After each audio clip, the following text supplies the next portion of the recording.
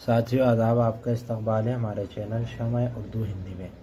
आज हम करेंगे N I S class twelve तीन सौ उन्नीस का टी एम ए दो हज़ार तेईस चौबीस उर्दू मीडियम बिज़नेस स्टडी यानी कारोबारी मुताले। ट्वेल्थ क्लास का। इसकी पी डी एफ़ भी मिल जाएगी, ऑनलाइन ऑफलाइन क्लासेस भी अवेलेबल हैं, प्रैक्टिकल और नोट्स हों या गाइड्स हों, हेल्प बुक, वो भी हमारे पास दस्तियाब है कॉन्टेक्ट कर सकते हैं। पहला सवाल है, जिन जब लोग बाकायदगी के साथ, दूसरों के साथ अपनी खदमात पेश करते हैं और उजरतें और तनख्वाह हासिल करते हैं।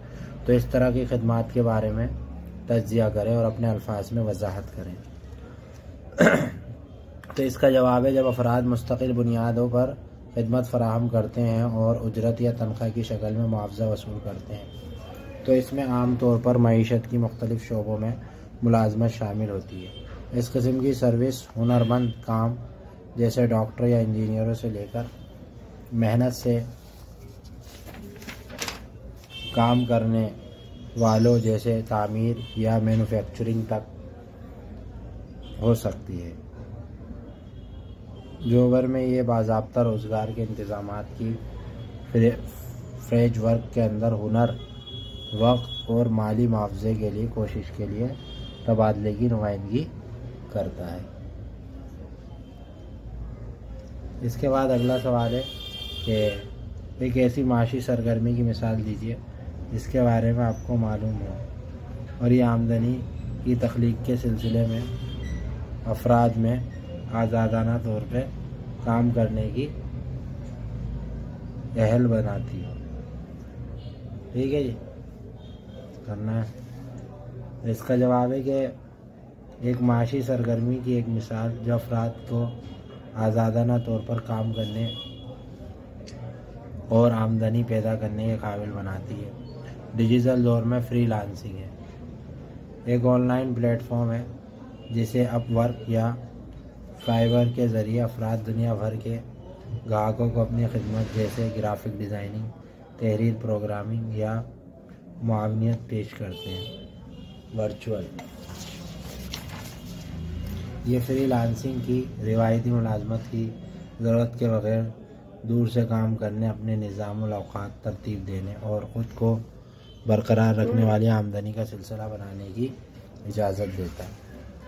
तीसरा सवाल है, क्या तरतीब और तरक्की के दरमियान कोई फ़र्क है? आप इससे मुतफ़ हैं तो इसके कोई दो फ़र्क मौजू मिसाल के साथ बयान करें। तो इसका जवाब है हाँ तरबियत और तरक्की में फ़र्क है। तरबियत मुलाजमीन को उनकी मौजूदा मुलाजमत की ज़िम्मेदारियों के लिए मखसूस महारतों और लिम से आरास्ता करने पर मरकूज है।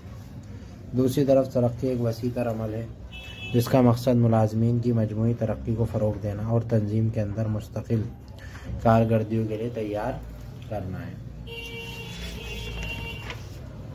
मिसाल के तौर पर फ़रोख्त की तकनीक को बढ़ाने के लिए सेल्स ट्रेनिंग फराहम करना ट्रेनिंग है, जबकि इंतज़ामी किरदारों के लिए मुलाजमीन को तैयार करने के लिए लीडरशिप प्रोग्राम पेश करना कारोबार करने और उसे बनाए रखने के लिए आपको रकम हम्म, ज़रा की ज़रूरत होती है। रकम दर की ज़रूरत होती है।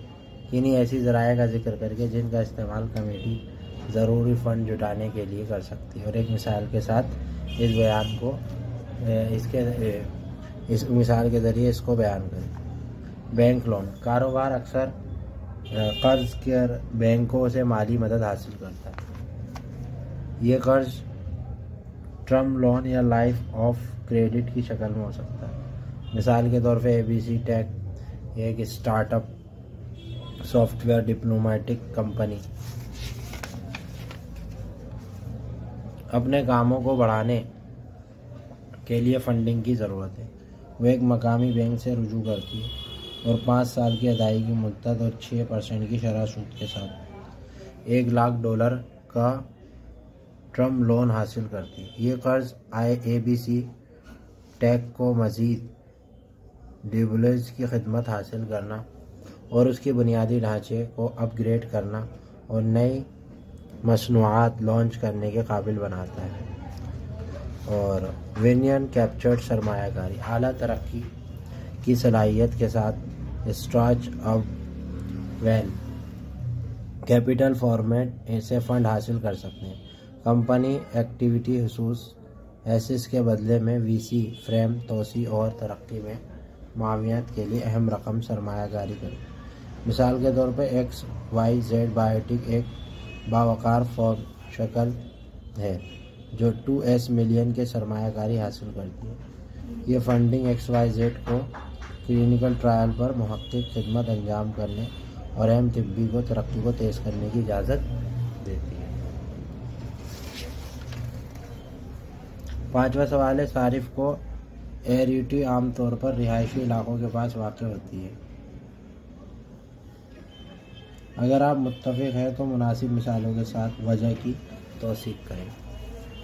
इसका जवाब है, कैरेटो को ऑपरेटिव दफातन रिहायशी इलाकों के करीब वाक़ होती है ये, और ये स्ट्रेचिंग और पोजीशन की वजूहत की बिना पर है। सबसे पहले रिहायशी महलों के करीब ग्राहकों के लिए सहूलत को यकीनी बनाती है, क्योंकि वे तवील फासले का सफ़र किए बगैर स्टोर तक आसानी से रसाई हासिल कर सकते ये ख़ास तौर पर बुज़ुर्ग या माजूर अफराद के लिए फ़ायदेमंद है। जिनकी नकल व वरत महदूद हो सकती है। मज़ीद बड़ा रिहायशी इलाकों करीब को इनको एस्ट्रो का पता लगाना रजाकाराना और कुली रुकनीत के कोऑपरेटिव असूल के मुताबिक है।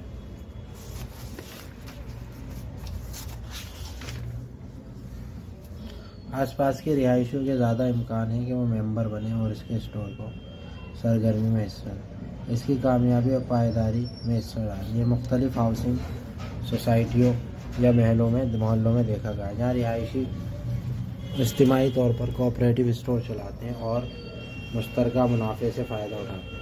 मज़ीद बड़ा क़ुरबत, करीब नकलो अमल के अखराज को कम करना, सरगर्मी की ख़रीदारी से वाबस्ता कार्बन फुट प्रिंट को कम करना और माहौल दोस्त तरीक़ों की हिमायत करने में मदद करना। छठा और आखिरी सवाल है कि एक मुश्तर हिंदू ख़ानदान कारो एक साझेदारी फर्म की एक नाबालिग की हैसियत का तजिया और मुजना करें बी पार्ट तो इसका जवाब है कि यह तारुफ है कि हिंदुस्तान में joint Hindu family business H U F और पार्टनरशिप फर्म्स कारोबारी तंजीमों के मकबूल शक्ल हैं।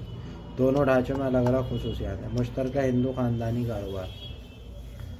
इसके बारे में आप सारा लिख दीजिएगा।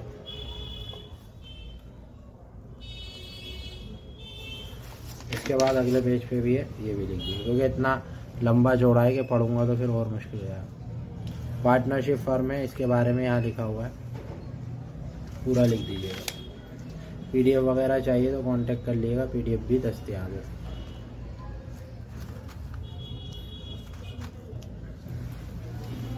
ठीक है भाई? मुआजना भी हुआ हुआ है इसमें। देख सकते हैं। वीडियो को लाइक करते चलिए। आपके लिए वीडियोस बनाए चली आ रहे हैं। तो प्लीज़ आपका भी हक बनता है कि इसको थोड़ा लाइक शेयर सब्सक्राइब कर दें और हमारे साथ जुड़ जाए। और अपने दोस्तों को भी शेयर करिए ताकि उन तक भी ये मालूम पहुँच जाए, वो भी फ्री सेवा में बना लें। पी फॉर्म चाहिए तो कॉन्टैक्ट करें। पी भी दस्तियाब है असाइनमेंट प्रैक्टिकल नोट्स सब चीज़ें मिल जाएँगी। वीडियो को लाइक शेयर सब्सक्राइब ज़रूर करें। थैंक